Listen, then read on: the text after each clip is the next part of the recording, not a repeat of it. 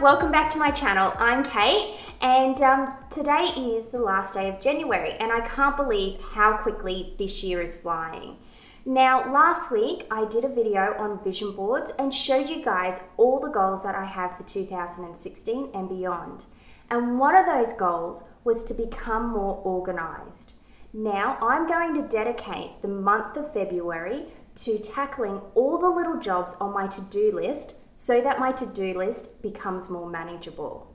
Now, I'm not talking big jobs like repainting my house. I'm talking about those little jobs such as basically taking out the delicates out of my bottom of my laundry basket and taking them to the dry cleaners and updating all the apps on my phone. So I'm talking about those jobs that the world wouldn't end but would make your life a lot easier if you got in and got them done. So, to do this, I've sat down and wrote out all those pesky little jobs that I've meaning to do. To do this, all I used was basically a pen and a little notebook.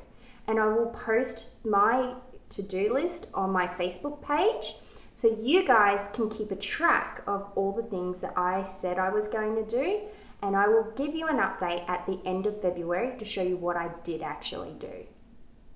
Now, I hope this will inspire you guys to tackle all those little jobs that you guys have been meaning to do and have just maybe put them to the side or procrastinated a little bit. So, I hope you guys liked this video and um, if you haven't seen my vision board video, check it out. I'll put some a link um, up above so you can go and have a look at that afterwards. And if you have any questions or queries, Put them in the comments below or any suggestions for topics.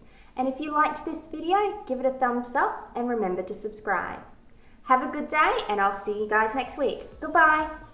When creating your vision board, it is important to pick a couple of areas of your life that you're wanting to improve or some goals that you're working towards.